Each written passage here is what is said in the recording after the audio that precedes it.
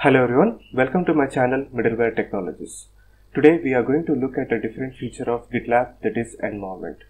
So here in this video we will try to set up a different environment to deploy the application using GitLab environment feature. That is like every organization uh, that uh, builds uh, tests the application they want to deploy it into different environments like dev, pre and prod. So here we will try to set up these different environments wherein the application can be uh, deployed in a controlled manner. So let us see like how we can utilize that feature in this video. So I'm currently having the following uh, servers. The Fedora server is the GitLab server. The, uh, the Kubernetes uh, cluster is uh, hosted on K8 master and K8 node. So let us see the first step uh, that is ensure GitLab agent for Kubernetes cluster installed. So this is uh, the step that we have already completed in our last but one video and you can just go through that video uh, on how to manage the Kubernetes cluster using GitLab CI/CD workflow. So in this video, like we have seen, like how we can uh, install the GitLab agent for Kubernetes and manage the uh, Kubernetes cluster using the GitLab CI/CD workflow. And then once that is completed, you can follow the how to share the Kubernetes cluster agent with multiple uh, GitLab projects. So this is basically an optional uh, uh, blog that uh, video that you can follow, wherein we have seen like how we can share the Kubernetes agent uh, with multiple projects in the GitLab repository. So that is the prerequisite that you can complete by following these two videos. So once that is done, uh, the next step that we need to do is ensure that Kubernetes namespace exists. So for this demo, like what we are going to do is we are going to create three different namespaces for three different environments. So let's say uh, we want to deploy our application to dev, pre and production environment. So let's uh, create namespaces uh, with stack dev, stack pre and stack prod so let me go to my uh, k8 cluster. So here like we will create namespace stack dev. But I think this namespace is already existing because I have tested it. So let us try to create a different namespace stack dev 1 and let us create stack pre 1 and let's create stack prod 1 so these are the three different namespaces in the Kubernetes cluster wherein we will be trying to deploy our application using the GitLab CI/CD workflow. Now let us go into our documentation again. So we have completed our second step that is ensuring the Kubernetes namespaces exist. Now the third step is updating the CI/CD pipeline. So this is a continuation to the the project that we have created in how to share Kubernetes cluster agent with multiple GitLab projects. So we are going to use the Hello Job project uh, to update the GitLab CI/CD pipeline. Okay, so let me show you that pipeline. So let me go to my uh, GitLab server that is Fedora and go to Hello Job project and here let us open the gitlab ci.yaml file. So this is uh, the CI/CD workflow that I have already updated, but let me try to explain to you. Here, like we are going to create three stages uh, for the workflow, uh, and it is going to uh, do the deployment into the dev, pre, and prod environments. So let us try to rename these uh, stages so that we can try to see like what exactly is going on. And let us name our jobs as same as the stage name deploy dev deploy dev.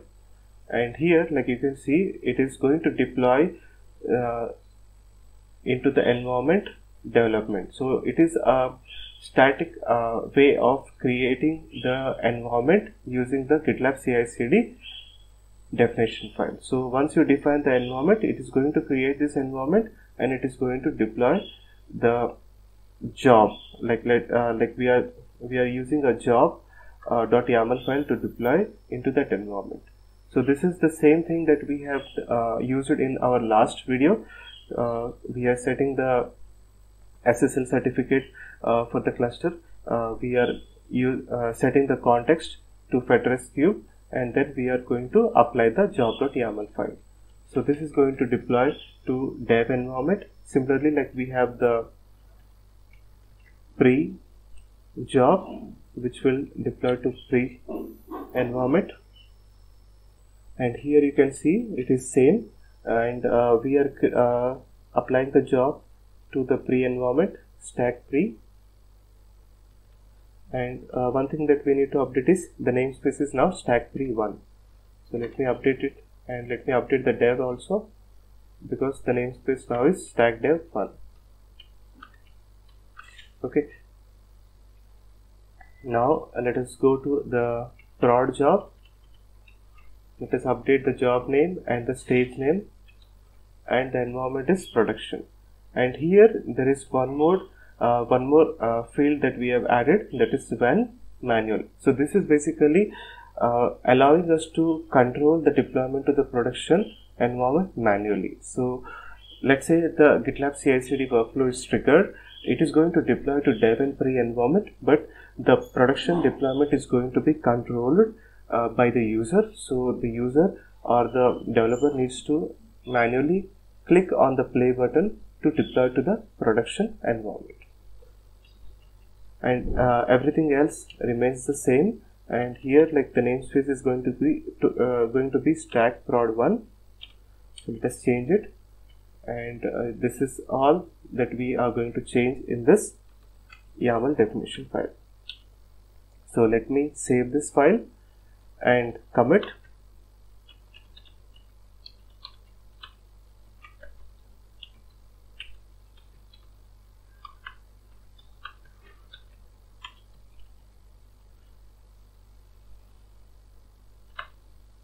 so let us give a message or commit comment gitlab and environments demo and let me push it to the repository. So now we are good with the updates to the GitLab CI/CD workflow. Let me clear my screen and go to the guide. Now let us go to our next step that is step 4.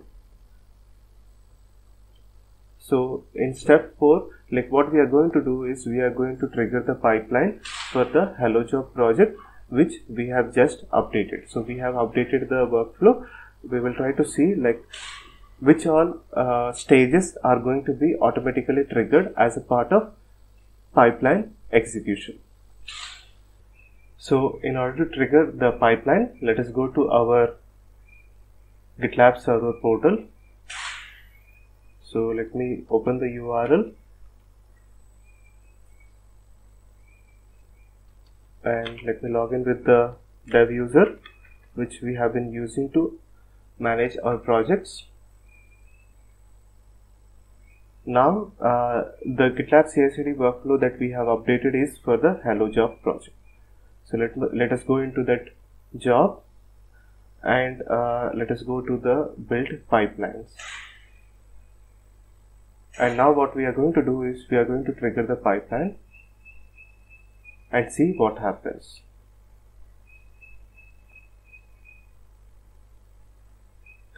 So as you can see like it has created three stages deploy dev, deploy pre and deploy prod. Let us refresh the screen. So it has deployed to dev and pre environment but it has paused at the deploy prod environment because this needs to be triggered manually as we have set the field when is equal to manual in the GitLab CI/CD workflow. Okay, so let us trigger this and let me open the logs for this one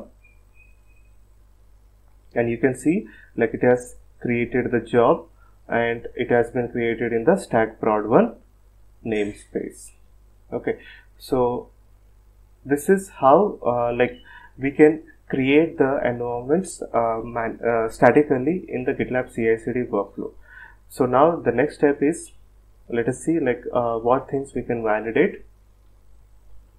So we have completed our step 4 and we have triggered the deploy job for production also. Now the time is to validate the deployments. So we can go to operate environments. So let's go to operate environments and here you will see the three deployment uh, three environments getting created and if you expand your environments like you will see your deployments that we have just deployed using the pipeline okay so this is uh, one way like we can validate the environments wherein that the application has been deployed. And we can go to the Kubernetes cluster also. Let me clear my screen. And do kubectl uh, get jobs in namespace stack dev 1 so you can see that it has deployed the job into the stack dev 1 namespace so similarly you can check the pre environment and the prod environment. So this is how like you can use the environment feature in order to control your deployments to a particular environment. As every organization is going to have multiple environments before they are going to roll out the application into the production environment. So this is what I wanted to show you in this video uh, very quickly. Thank you all. Thanks for watching this video and you guys have a great day.